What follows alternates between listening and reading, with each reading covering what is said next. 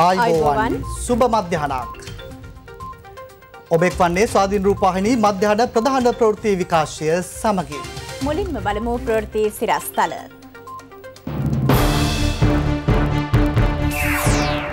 රිෂාඩ්ගේ ගෙදරදී මියගිය විශාලනීගේ සිරුර ගොඩ ගනී.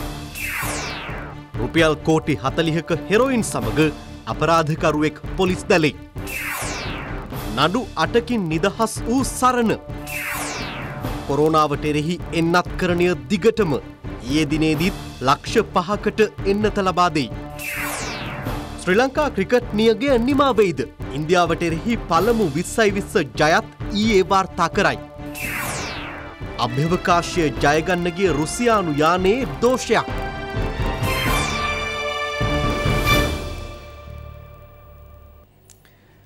දින තිස්සායකට පසු දෛනික වාර්තා වන කොරුණා ආසාධිතින්ගේ සංඛ්‍යාව ඊයේ දිනේ දෙදහසේ සීමාව ඉක්මවා ගියා.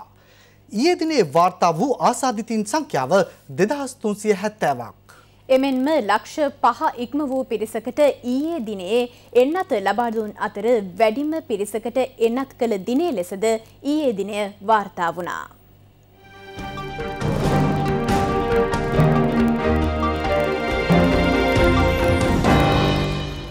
මෙරටින් වාර්තාාවන සමස්ත කොරෝණ ආසාධිතින් සංඛ්‍යාව තුන් ලක්ෂ හාරදහස් දෙසිය දෙකක් විසි හයිදහස් හාරසි හතලිස් අට දෙනෙකු ප්‍රෝහල්ගතව සහ අතරමැදි ප්‍රතිකාර මධ්‍යස්ථානවල ප්‍රතිකාර ලබනවා. සුයි ලබූ සමස්ත සංඛ්‍යාව දෙලක්ෂ හැත්තඇතුන් දහස් හාරසි අනුහයක්. ඒ දිනේදී පිසිR පරීක්ෂණ දාහතර දහස් එකසි හතලිස් හතක් සිදු කර ඇති අතර.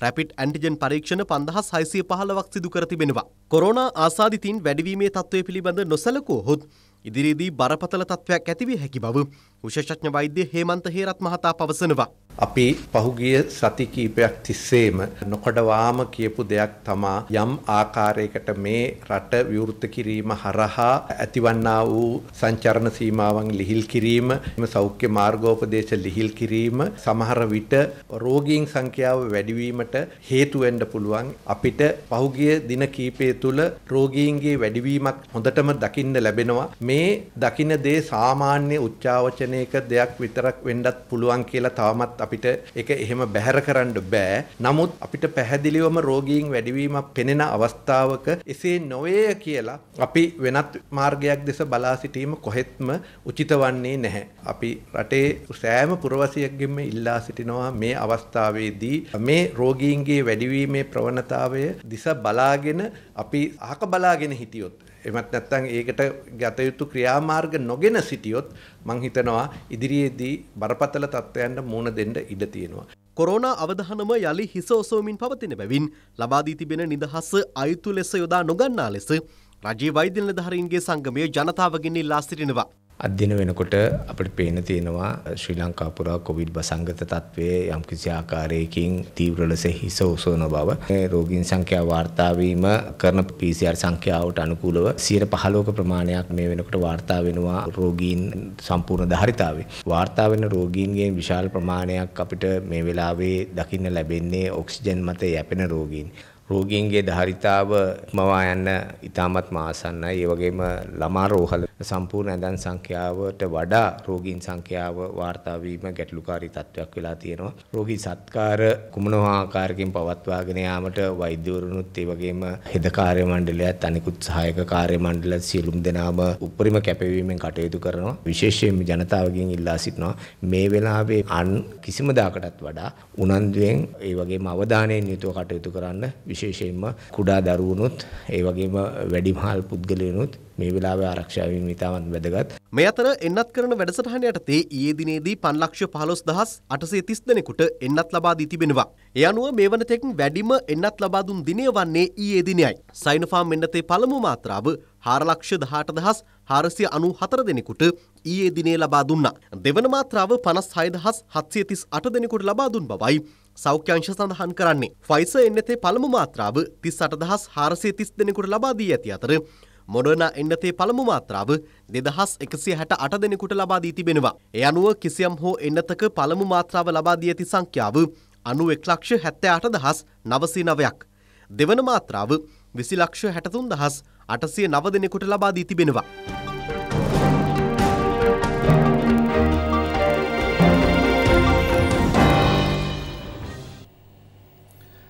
රිෂාඩ් බදයුදීන් මන්ත්‍රීවරයාගේ නිවසේ මෙහෙකාර සේවේ යෙදී සිටියදී මිය කිය ඉශාල්නී ජූඩ් දැරේගේ සිරුර ගොඩ ගැනීම මේ වන විට ආරම්භ කර තිබෙනවා. සිරුර ගොඩ ගැනීමෙන් පසු දෙවන පශ්චාත් මරණ පරීක්ෂණය සඳහා පේරාදනීය ශික්ෂණ රෝහලට රැගෙනීමට නියමිතයි. හිටපු අමාත්‍ය රිෂඩ් බදයුදින් මහතාගේ නිවසේ මෙහිකාර සේවේ යොදවා සිටියදී පිලිස්සුම් තුවාල ලබා කොළඹ ජාතික රෝහලට ඇතුළත් කළ දහස්සේ හැවිරිදි ඉශාලිනී ජූට්තරිය එහි ප්‍රතිකාර ලබමින් සිටියදී මිය ගියා. කෙසේ වෙතත් අදාළ දැරියගේ මරණය සම්බන්ධයෙන් ඇති වූ මතභේදාත්මක තත්ත්වය හේතුවෙන් ඇයගේ සිරුර නැවත ගොඩ ගැනීම සඳහා අධිකරණය නියෝග කළා. ඒ අනුවයි හැටන් ඩයගම පොදු සුසාන භූමියේ මිහිදන් කළ ඉශාලිනී දැරියගේ සිරුර නිරෝධායන උපදෙස්වලට අනුකූලව විශේෂඥ කමිටුවේ අධීක්ෂණය යටතේ ගොඩ ගැනීම ආරම්භ කර තිබෙන්නේ. දෙවන පශ්චාත් මරණ පරීක්ෂණය සඳහාද සිරුර පේරාදිනය ශික්ෂණ රෝහලට රැගෙන ඒමට නියමිතයි. හිටපු අමාත්‍ය රිෂඩ් බදුදින් මහතාගේ බොරැල්ල ප්‍රදේශයේ පිහිටි නිවසේ මෙහෙකාර සේවයේ දී සිටියේදී සිරුරට ගිනියමිලීමෙන් ජීවිතක්ෂයට පත් විශාලනී දැරියගේ සිරුර ගොඩ ගැනීමේ අවස්ථාව තමයි ඔබ මේ දකින්නේ. නුවරඑළිය මහේස්ත්‍රාත්වරියගේ දැඩි අධීක්ෂණය යටතේ අද උදෑසන 9 හැටියට සිරුර ගොඩ ගැනීමේ කටයුතු ආරම්භ කරනු ලැබුවා. කෙසේ වෙතත් අද මේ සිරුර ගොඩ ගන්න අවස්ථාව දැක බලා ගැනීමට වතුකම් කරුවන් විශාල පිරිසක් පැමිණලා තිබුණා. නමුත් ඔවුන්ට අවස්ථාව ලබා දුන්නේ නැහැ සිරුර ගොඩ ගැනීමේ අවස්ථාව දැක බලා ගැනීමට විශේෂයෙන්ම නිරෝධායන උපදෙස් වලට පටහැනිව වුන් කටයුතු කරන නිසා කෙසේ වෙතත් ඩයගම ප්‍රදේශයට දැඩි පොලිස් ආරක්ෂාවක් යොදා තිබෙනවා. මිය කිය ඉශාලිනී දැරියට සාධාරණයක් ඉටු කර වැරදිකරුවන්ට දඩුවම් ලබා දෙන ලෙස ඉල්ලමින් ඌව පරණගම අලගොල්ලවත්තේ ජනතාව විරෝධතාවක නිරත වුණා. අපිට ජාති බේදයක් අවශ්‍ය කරන්නේ නැහැ. ඒක නිසා කරුණා කළා රටේ නායකයෝ පියවර ගන්න. ඒක නිසා දෙයියන්ගේ නාමයට දරුවන්ට ආදරය කරන්න. දරුවෝ අපේ අනාගතේ. මේ වගේ දූෂණයක් කරලා වූ එහෙම නැත්නම් ගිනි තියලා මරුවවද කියලා කියලා අපි දන්නේ නැහැ. ඒක හරියටම හොයලා බලලා හරි නීති පිළිවෙලක් ලබා දෙන්න ඉශාලිනී දැරිය මිය යාම සම්බන්ධයෙන් අදත් විවිධ අදහස් පළ වුණා. රිෂාඩ් බදුර්දින්වර අමාත්‍යවරයාගේ හිටපු අමාත්‍යවරයාගේ සහ මන්ත්‍රීවරයාගේ මේ ක්‍රියාකලාප විරුද්ධව අගමැතිවරයා ප්‍රමුඛ ආණ්ඩුවටත් පුළුවන් ඔන්න විශ්වාස භංගයක් ගේන්න. සජිත් ප්‍රේමදාස ප්‍රමුඛ විපක්ෂයටත් පුළුවන් විශ්වාස භංගයක් ගේන්න. හතරක දූෂණයට විරුද්ධ නම් මේ ළමයා කෙලසූ භාවයට විරුද්ධ නම් මේ ළමා අපචාරයන්ට විරුද්ධ නම් මේ ළමා මෙහෙකාර සේවයට විරුද්ධ නම් වහාම කටයුතු කරන්න කිසිදු බාධාවක් නැහැ. ආණ්ඩුව දීලා තියෙන රිෂාඩ් බදුර්දින්ට එරෙහිව ජනබලවේගයක් හැටියට ජනාධිපතිවරයාට පුළුවන් මේක වහාම ක්‍රියාත්මක කළා. අවුරුදු 100ක් 200ක් 1000ක් හරි ඉර දඩුවම් දෙන්න. ඒකට අවශ්‍ය කරන නීති තියෙනවා වැඩේ කරන්න කියලා ජනාධිපතිවරයන් ඉල්ලා සිටිනවා. අපි පැහැදිලිවම කියනවා රිෂාඩ් බදියුදීන් නෙවෙයි සක්කර දෙවියෝ වුණත් දරුවන්ට සහ කාන්තාවන්ට යම්කිසි හිංසනයක් අපයෝජනයක් ක්‍රියාත්මක කරනවා නම් ඒට විරුද්ධව කටයුතු කරන්න කොහෙත්ම මැලිවෙන්නෙත් නෑ. නීති අනිවාර්යයෙන්ම ක්‍රියාත්මක වෙනවා. ඉදිරියේදී නීති දැඩි කරලා මෙවැනි පාපතරයින්ට අපරාධකරුවන්ට විරුද්ධව කටයුතු කරන්න අපි ඉතාමත්ම වගකීමෙන් රජයක් හැටියට කටයුතු කරනවා.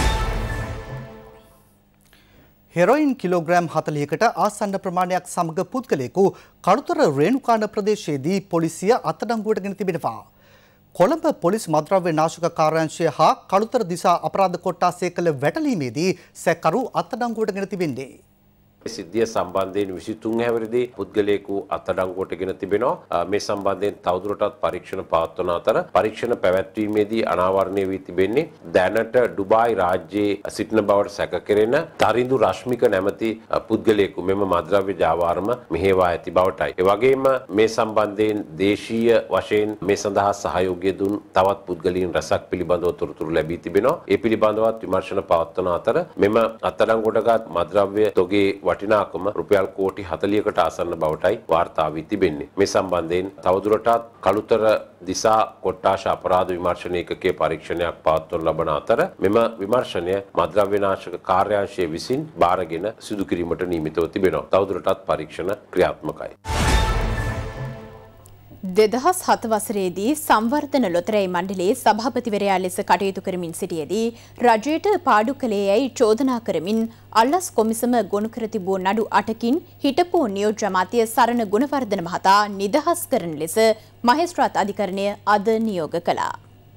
මෙම නඩුව කොළඹ ප්‍රධාන මහේස්ත්‍රාත් බුද්ධික සී රාගල මහතා ඉදිරියේ කැඳවනු ලැබුවා.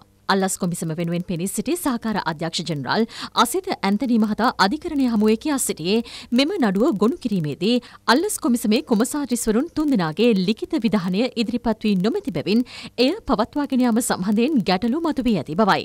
සරණ ගුණවර්ධන මහතා වෙනුවෙන් පෙනී සිටි නීතිඥවරයා අධිකරණයෙන් ඉල්ලා සිටියේ නඩුව පවත්වාගෙන යාම අපහසු නම් විත්තිකරු නිදහස් කරන ලෙසයි.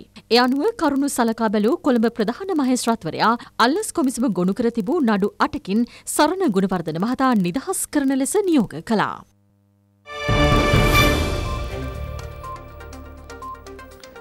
දහම් පාසැල් පිරිවෙන් හා භික්‍ෂු අධ්‍යාපනය පිළිබඳ රාජ්‍ය අමාත්‍යංශය පීටවා මේ වන විට වසරක් ගත වෙලා.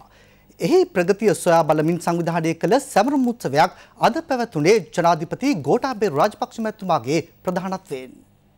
ජනාධිපති ගෝටාබේ රාජපක්ෂ මැතිතුමාගේ සෞභාගයේ දැක්ම ප්‍රතිපත්ති ප්‍රකාශය යථාර්ථයක් බවට පත්කරමින් දහම් අධ්‍යාපනය පිරිවෙන් අධ්‍යාපනය සහ භික්ෂු අධ්‍යාපනය නගා සිටුවීම සඳහා මෙවන විටත් වැඩසටහන් රැසක් සංවිධානය කර තිබෙනවා. එ අනුව රාජ්‍ය අමාත්‍යංශයේ පිහිටවා වසරක් ගතවීමත් සමග එහි ප්‍රගතිය සමාලෝචනය කර පිරිවෙන් වරුණ සැමරුම් වැඩසටහන අද පැවැත්වුණේ ජනාධිපති ගෝටාබේ රාජපක්ෂ මැතිතුමාගේ සහභාගීත්වයෙන්. දිවයින පුරා මෙවන විට පිරිවෙන් අටසේ විසි පහක් පමණ පිහිටවා ඇති අතර ශික්ෂ භික්ෂූන් හැත්තෑ දහසක් පමණ අධ්‍යාපනය හදාරනු ලබනවා. පිරිවෙන් අධ්‍යාපනය හරහා ජාතික උරුමය සංස්කෘතිය රැකගැනීම වත්මන් රජයේ අපේක්ෂාවයි. මෙම රාජ්‍ය අමාත්‍යංශයේ නිලවේ බඩවිය විවෘත කිරීමද ජනාධිපතිතුමාගේ සුරතින් අද සිදු කෙරුණා. කොවිඩ් වසංගතය පාලනය කරන්නට අතිකරු ජනාධිපතිතුමත් මේ ආණ්ඩුවත් විශාල මෙහෙයක් දරණ මොහොතක අපි දකිනවා රටපුරා. විවිධ ඉල්ලීම් අවශ්‍යතාවයන් ඉෂ්ට කර ගැනීමට විවිධ ජන කණ්ඩායම් වෘත්තීය කණ්ඩායම් අද පාරට බැහැලා. හැබැයි අපි හමුවේ තියෙන්නේ මිනිසුන් ජීවත් කරවීම පිළිබඳ ප්‍රශ්න. මහා වසංගතයෙන් මේ රටේ ජනතාව බේරගන්න, ඒ වගේම මේ රටේ අතිගරු ජනාධිපතිතුමා ජනතාව හමුවේ ලැබූ බලාපොරොත්තු යථාර්ථයක් බවට පත් කරගෙන සෞභාග්‍ය දේශයක් සඳහා යන ගමන ක්‍රියාත්මක කරනවා. දහම් අධ්‍යාපනය, භික්ෂු අධ්‍යාපනය නැවත යථා තත්ත්වයට ගෙනල්ලා අපි බලාපොරොත්තු වෙන ගුණාත්මක තත්ත්වය අතිගරු ජනාධිපතිතුමා බලාපොරොත්තු වෙන කාර්යක්ෂමතාවය වැඩි දියුණු කරනවා. ගුරු විදුහල්පති වැටු විෂමතා සම්බන්ධයෙන් ගැටලු විසඳීම සඳහා රජය ප්‍රතිපත්තිමය තීන්දුවක් ගෙන ඇති බව රාජ්‍ය අමාත්‍ය ලසන්ත අලකියවන්න මහතා පවසනවා. පවතින ගැටලු සම්බන්ධයෙන් වෘත්තීය සමිති සහ අමාත්‍යවරුන් කිහිප දෙනෙකු සමග ඊයේ පැවති සාකච්ඡාවකින් පසු මාධ්‍ය වෙත අදහස් දක්වමිනුයි අමාත්‍යවරයා මේ බව ප්‍රකාශ කළේ. ගොරු විදුහල්පති වැටු පුෂ්මතා සම්බන්ධයෙන් වෘතිය සමිති සහ අමාත්‍යවරුන් අතර සාකච්ඡාවක් ඊයේ පස්වරුවේ පැවැත්වුණා. මේ සඳහා අමාත්‍යවරුන් වන උදේ ගම්මන්පිල බන්දුළු ගුණවර්ධන යන මහත්වරුන් සහ ගුරු වෘතිය සමිති කිහිපයක් සහභාගී වුණා. කෙසේවද ලංකා ගුරු සේවා සංගමේ ප්‍රධාන ලේකම් මහින්ද ජයසිංහ මහතා ප්‍රකාශ කළේ තම වෘත්තීය ක්‍රියාමාර්ගයේ නතර කිරීමට නම් රජයේ තම ගැටලු පිළිබඳ අවබෝධ කරගත යුතු බවයි. කමිටුනේ මේ ඇමතිවරුන්ට පුළුවන්කම තිබෙන්නේ මේ ප්‍රශ්නේ පුළුල් ලෙස අවබෝධ කරගෙන ඒක කැබිනට් මණ්ඩලයට වාර්තා කරලා කැබිනට් මණ්ඩලයේ අනිකුත් සමාජිකින් මේකට විසඳුමක් දීම සඳහා අවශ්‍ය කරන පෙළඹවීම් කරන එක. ඉතින් අපි හිතනවා අද දවසේ සාකච්ඡාවේ අනතුරුව මේ සහභාගී වුණු කැබිනට් මණ්ඩල ඇමතිවරු තුන්දෙනා ඒකට අදාළ ප්‍රවේශය ගනීවි ඔවුන්ව දැනුවත් කළා මේ ප්‍රශ්න විසඳුම් ගන්න ඔවුන්ගේ පැත්තෙන් ප්‍රවේශයක් ගනී කියලා අපි හිතනවා. පැහදිලියම ඔවුන් තේරුම් ගත්තා මේ ප්‍රශ්නය කියලා අපි හිතනවා තේරුම් ගත්තයි කියලා. ඉතින් අපි බලාපොරොත්තු වෙනවා සාධනීය මැදිහත් වීම කරේ කරයි කියලා අපි සුබවාදිය බලන් ඉන්නවා. යම් කිසි විදියකින් එළඹෙන සමුදක් මිනිත් මණ්ඩලයේ මේක විසඳුමක් නැත්තම් අපේ අරගලය අපි ජය ගන්න තුරු පෙරට යනවා කියන එක අපි අවධාරණය කරන්න කැමතියි. රජය නම්‍යශීලීව ඉන්නවා සංවේදීව ඉන්නවා මේ ගුරුන්ගේ විදුහල්පතිවරුන්ගේ ප්‍රශ්න සම්බන්ධයෙන්. ගෝලීය වසංගත තත්ත්වයක් තුළ වැඩ වර්ජනය කරලා ගුරුවරු මම දන්නේ නැහැ ඔක්කොම ගුරුවරුද කියලා. නැත්නම් අර ජනාධිපති ලේකම් කාර්යාලය ළඟ ටයර් එකේ හුලං හරි ගුරුවරු මේකේ වෙනත් බලවේගත් පිටිපස්සේ ඉන්නවා කියන එක තමයි මගේ හැඟීම. ගුරුවරු එහෙම විනයක් නැතුව හැසිරෙන අයත් නෙවෙයි. ඉතින් මම කියන්නේ ගුරුවරුන්ට රටේ දරුවෝ වෙනුවෙන් අපේ යුතුයකම අපිට කරමු කියන එකයි මට රටට කියන්න තියෙන ගුරුවන්ට. අමාත්‍ය ගාමිණි ලොකුගේ මහතා ප්‍රකාශ කළේ හැකි ඉක්මනින් මෙම ගැටලුව විසඳීම සඳහා කටයුතු කරන බවයි. මේ ආණ්ඩුව එනකම මේ ප්‍රශ්නේ යට ගියා එයාට මෙයාට ගියා මිසක් ක්‍රියාත්මක වුණේ නෑ. නමුත් අද අපිට තියෙන ප්‍රශ්නේ තමයි කොවිඩ් අර්බුදයත් එක්ක ලෝකේම ආර්ථික අමාරුකම් වලට වෙලා තියෙනවා ශ්‍රී ලංකාවත් ඒ අමාරුකම් වලටපත් වෙලා තියෙනවා. මේක ක්‍රියාත් කරන්න බිලියන 50ක් විතර ඕන කරනවා අවුරුද්දකට මේ පඩි සංශෝධනය කරන්න. ඉතින් දැන් අපි ඒගොල්ලොත් එක්ක සාකච්ඡා කරේ ප්‍රතිපත්තියක් හැටියට මේක පිළිගත්තත් කොහොමද අපි ක්‍රියාත්මක කරන්න කියලා. ඒගොල්ලොත් ඒ පිළිබඳව සුවදව සාකච්ඡා කරනවා. ඒ හින්දා අපි කල්පනා කරනවා මේක දෙගොල්ලෝ කතා කරලා යම්කිසි විසඳුමකට එන්න පුළුවන් වෙයි කියලා. උද්ඝෝෂණ ක්‍රියාවලිය අවසන් වෙයිද? ඒක ඉතින් ඒක බුද්ධි සමිති පැත්තේ වැඩක් නේ. අපිත් එක්ක එකතු වුණාට පස්සේ ඒක ඒගොල්ලෝ නවත්තලා දායි. මං විශ්වාස කරනවා ලබන කැබිනට් මණ්ඩලයේදී අපිට මේ ප්‍රශ්නය පිළිබඳව විසඳුමක් ලබා ගන්න පුළුවන් වෙයි කියලා. විදුබල්පති ගුරු වැටුප් පිළිබඳව ගැටලුව විසඳීම අතිකරු ජනාධිපතිතුමත් රජයත් ප්‍රතිපත්තිමයක් විදිහට එකඟතාවය පළපරලා අවශ්‍ය කැබිනට් පත්තිකාව ඉදිරිපත් කරලා තිබෙනවා. එය ක්‍රියාවට නැංවීම පිළිබඳව ඇතිවෙන තත්ත්වයන් පිළිබඳව තමා අදාළ වෘත්තීය සමිතිත් සමග සාකච්ඡා කරලා ඊළඟ සතියේදී කරුණු ඉදිරිපත් කරන්න කියලා කිව්වේ. ඒ අනුව ඒ සාකච්ඡාව තමයි අද පැවැත්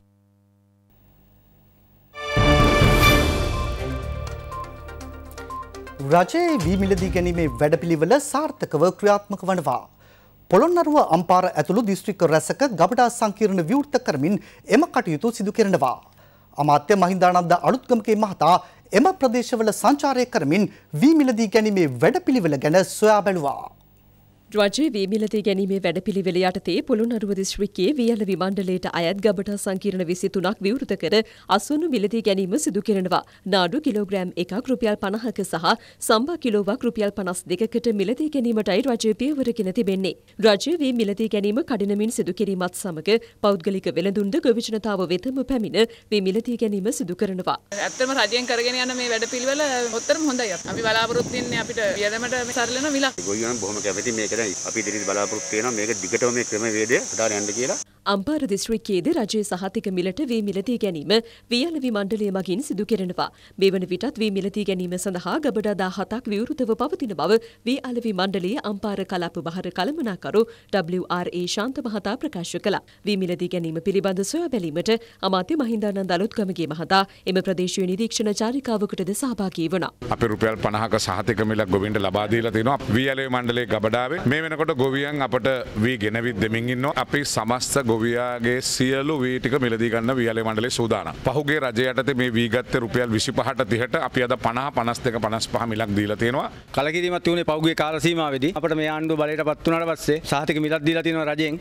අපි අම්පාර සාකාව වෙත වී රැගෙන ආවා. පෞද්ගලික අංශයට වැඩිය වියලේ මණ්ඩලයෙන් වාහනයක් දාලා ගමට ගිහිල්ලා අපේ වී ටික මිලදී ගැනීම කටයුතු ආරම්භ කරනවා නම් අපි රජයට ඇත්තටම ස්තුතිවන්ත වෙනවා මේ වැඩ පිළිවෙල සාර්ථකයි කියලා අපි විශ්වාස කරනවා. අපි හැම කන්නකම දෙන්නේ වී අලේ මණ්ඩලයට තමයි අපේ වී ටික පුද්ගලික ආයතනයට දෙනවට වැඩිය අපේ රජයට දෙනකොට අපිට මුදල් ටික අපිට කාල වෙලාවට ලැබෙනවා. කිසි අපහසුතාවක් නැතුව අපේ වැඩේ ටික අපිට කරගන්න පුළුවන්. රජයෙන් වී ගන්න හන්ද තමයි ඒ අපහසුතාවය මග ඇරලා තියෙන්නේ. ඒ සමගින් මධ්‍යහන ප්‍රධාන ප්‍රවෘත්ති විකාශය නිමාවට පත්වෙනවා. පසුර එකයි පනස් පහේ සිට අපගේ පැම් පැපුවත් විකාශය බලාපොරොත්තු වන්න ඔබට සුබ දවසක්.